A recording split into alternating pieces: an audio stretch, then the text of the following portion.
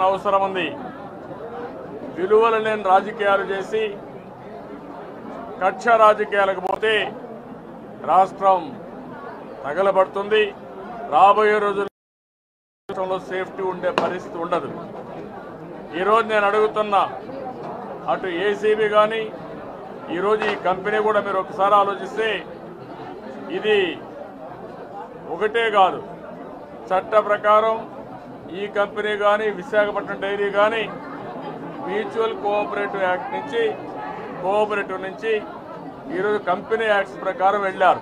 చట్ట ప్రకారం బదిలీ అయింది. మార్పు చేశారు. దానికి ఒక స్టెబిలిటీ వచ్చింది. ప్రజలకు ఎనలేని సేవలు అందించారు. ఈరోజు ఇక్కడ చూస్తే ఒక హాస్పిటల్ పెట్టి రైతు సోదరులందరికీ పాడి రైతులకు ఎనలేని సేవలు అందిస్తున్నారు. ఇలాంటి సేవలందించే సమయంలో రాజకీయ కక్షతో లేనిపోని ఆరోపణలు చేసి అమానుషంగా అరెస్ట్ చేయడం. ముందు ఏది జరిగినా కూడా ఒక నోటీస్ ఇస్తారు. ఏదైనా ఎవిడెన్స్ ఉంటే చూపిస్తారు. ఎంక్వైరీలు చేస్తారు. ఇన్వెస్టిగేషన్ చేస్తారు.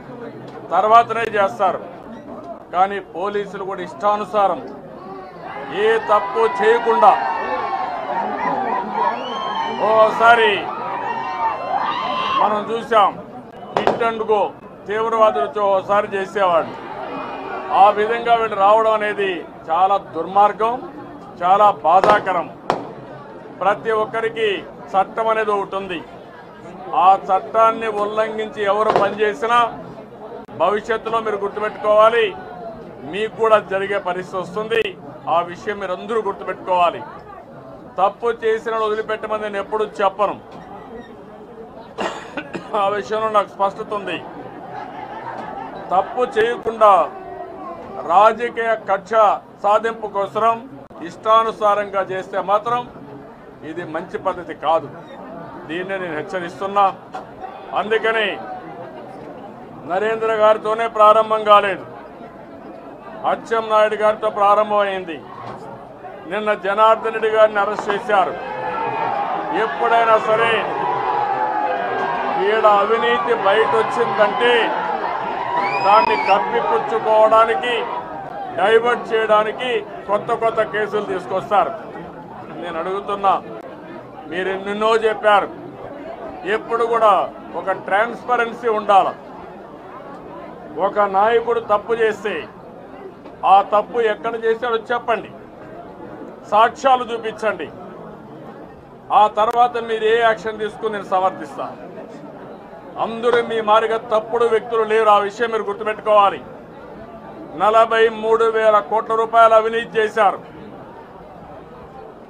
ఈరోజు ఈడీ సిబిఐ పాత కేసులే ఈరోజు ఎంక్వైరీ చేసే పరిస్థితి ఉంది. ఇప్పుడు చేసే హోల్సేల్ అవినీతి చూస్తా ఉంటే రేపు కోర్టు కూడా చాలు అలాంటి అవినీతి చేసే మీరు కావాలని ఎవరైతే సమాజానికి సేవ చేయాలని గౌరవంగా బ్రతకాలని రాజకీయాల్లోకి వచ్చిన వ్యక్తుల్ని బురజల్లే కార్యక్రమం చేస్తున్నారు. దీన్ని నేను చాలా తీవ్రంగా ఖండిస్తున్నా. నరేంద్ర గారి ఆస్తులు ఎంతున్నాయి? మొట్టమొదటి నుంచి వీరయ్య చౌదరి గారి పేరు నుంచి చూద్దాం.